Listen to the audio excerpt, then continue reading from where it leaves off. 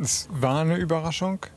Und ich wusste, das gibt ein grünes Sommerfest und ich habe schon gedacht, sagst da Tschüss, aber dass wir jetzt hier Danke Robert und sowas machen, ähm, äh, das macht dann immer ein bisschen sprachlos und es ist nicht ein bisschen Abschiedsschmerz, sondern ich muss ein bisschen aufpassen, dass ich hier nicht, ähm, dass das Interview gut weiterläuft.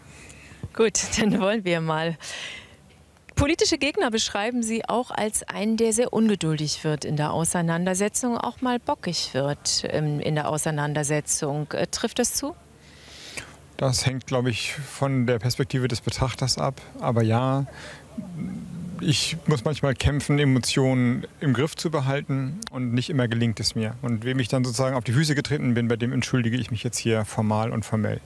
Wenn Sie nun mit diesen Eigenschaften nach Berlin gehen, wo Sie ja auch im Wartestand sind mit den Grünen, weil die GroKo noch ein bisschen hält, wie werden Sie das dann eigentlich bewerkstelligen?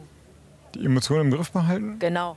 Ich habe ja eine, Die Ungeduld. ich habe ja eine schleswig-holsteinische Schule hinter mir und das nehme ich mir wirklich fest vor, das, was ich hier lernen durfte. So muss ich sagen, es waren wirklich intensive und fantastische Jahre für mich, die, die mich verändert haben. Das will ich nicht vergessen. Und das war im Prinzip immer den Menschen hinter der politischen Debatte zu sehen, den Menschen hinter der Politik.